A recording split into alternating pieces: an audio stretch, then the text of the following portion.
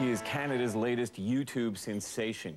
The plane at LAX with my dream in my cardigan.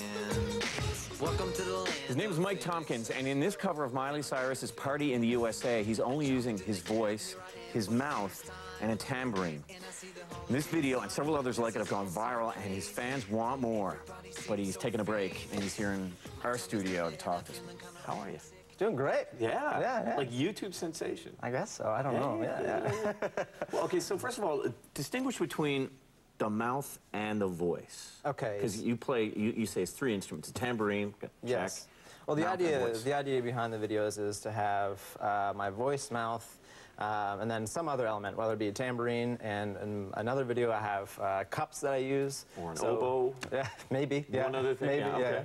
yeah. Um, so yeah, the idea is to make a song sound like the original song. I do cover songs, uh, but just using my voice and my mouth. Why'd you pick Party in the USA?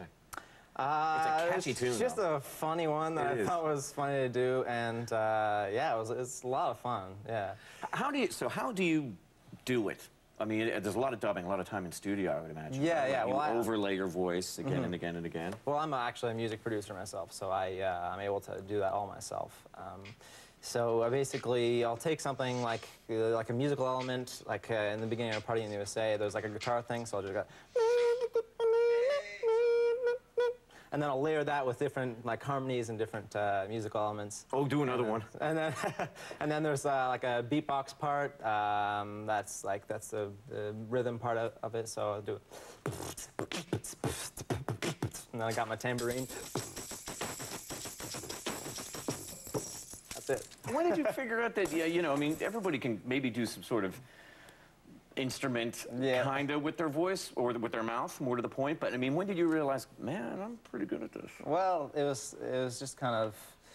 I had all these things I can do, and I it was kind of like mixing them all together into one thing. Um, it was just in the fall, the last year in the fall, I was like, oh, I should. It was just kind of a funny idea. I thought it would just be a joke that I do, and then I put it up on Facebook and.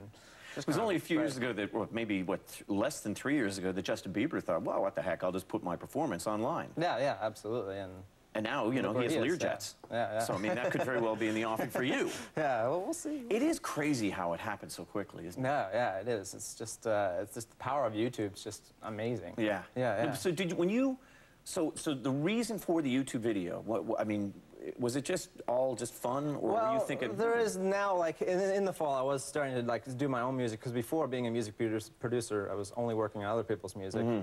But in the fall I was like, oh, I should just start making my own, and so I started making some like pop tunes. Um, and I guess the YouTube video was sort of like an, a way of promoting. I didn't think that like people would really catch on as it did, but. Uh, it's just like it was just a kind of a way of promoting because I'm not on a label, so I need to figure out a way to promote myself, which is, you know, that's the Would, power of you- YouTube. would you check it every day to see how many hits you had? Uh, not every day, because it gets day, it, it just it just makes you go crazy. But it is something you'd look at. yeah, yeah. It's, Do you, it's do you have people yet? people? what do you Yeah.